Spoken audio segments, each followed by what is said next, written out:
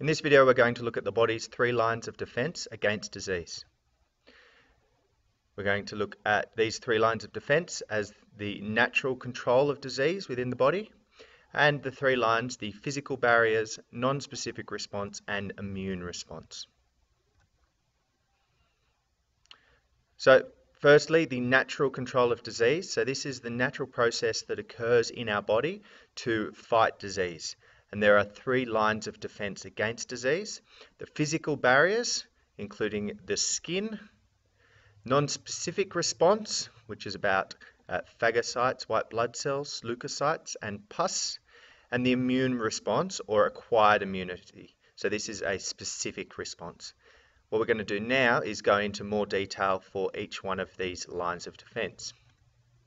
Now when we're looking at our lines of defense, we use the analogy of a castle. So the first line of defense, the physical barriers, in our castle we think of the walls and the moat. So they're physical barriers that are designed to keep attacking things out. And in this case we're talking about pathogens uh, attacking our bodies. So we've got a few ways or a few physical barriers to keep these pathogens out. Firstly we have the skin, which is a tough outer layer around all the parts of our body. Uh, so the microorganisms cannot get through the skin easily.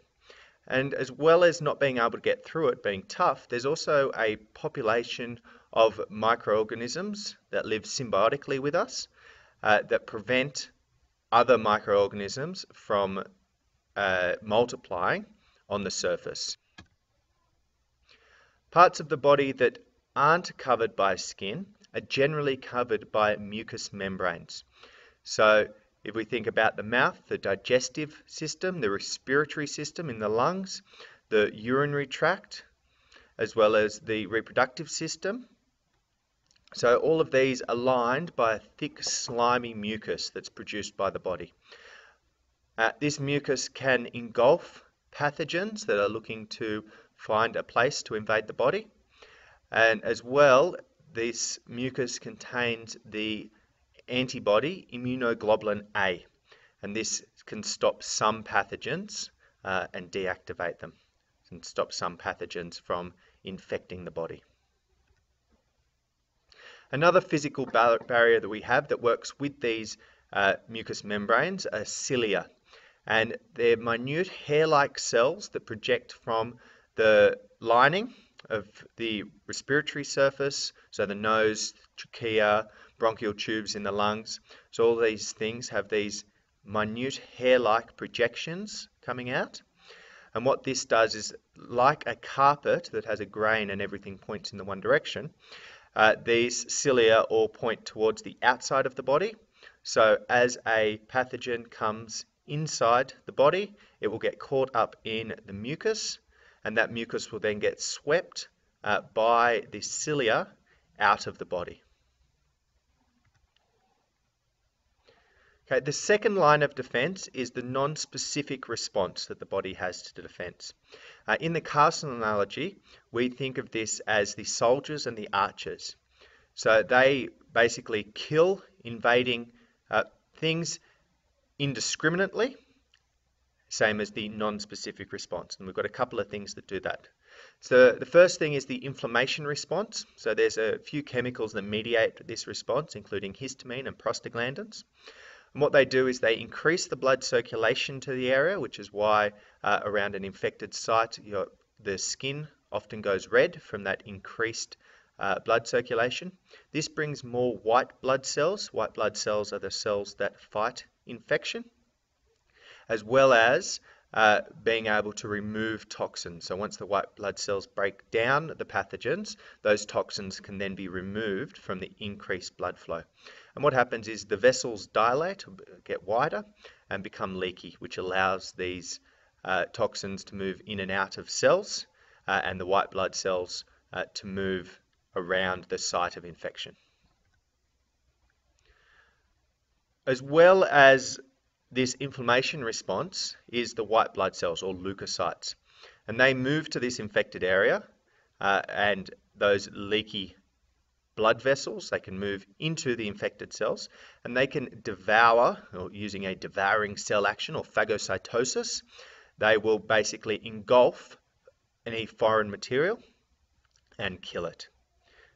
These dead leukocytes, dead white blood cells, so once they engulf something, they then basically commit suicide and kill themselves uh, to kill that cell as well. And this is what forms a yellowish discharge uh, or pus. So when you've got an infected site and it's pussy, those that yellow pus comes from the dead white blood cells that have engulfed the pathogen. We then have immune response or specific response. This is our third line of defense, or our last line of defense. And in the Castle analogy, we think of this as the spies and assassins. So they can actually work out who is attacking, who's in charge, and they can go and target particular pathogens. The first step in immune response is basically the non-specific response. So these white blood cells or leukocytes, and in particular there's a type of leukocyte called a macrophage, uh, it engulfs the pathogen, uh, and in this we call use the word pathogen and antigen synonymously, okay? And you just need to remember that that's bad. So just think pathogen, antigen, that's bad. Um, so they engulf that pathogen, and then what they do is they display the antigen on the surface. Now, if this is a new antigen or a new pathogen that's been found inside the body, uh, that displaying it on the surface isn't going to do anything because the body can't recognize it uh, as something that it's fought before. Uh, so that displaying on the surface pretty much stops there and we stop at that non-specific response. However, if this is something that's been come across in the body before, the body has what's called acquired immunity, and that's what kicks in this specific response. So once that antigen is displayed on the outside of the macrophage, the leukocyte, uh, another antibody comes across. Now, antibodies are things that are produced by the body, so they're the good things, okay? So we don't get antigens and antibodies confused. So antigen, pathogen, antibody made by the body. Okay, so these are the good ones. So in particular, there's a T helper cell, which is a type of antibody. What that does is that recognizes the antigen that's been uh, displayed on the surface, and it signals using a type of chemical called cytokines, and it signals to produce other antibodies that will specifically kill that antigen. These second type of antibodies are called T killer cells. And once they are signaled to attack, they will come out and find any cells that are displaying that antigen and destroy them. So this is where the immune response or acquired immunity occurs. So for acquired immunity, the body has to have fought this antigen before uh, and therefore know which T killer cells to produce, to produce uh, which, uh, to work out which way to actually kill those infected cells. In this video, we've looked at the natural control of disease and the analogy for remembering the natural control of disease being the castle analogy.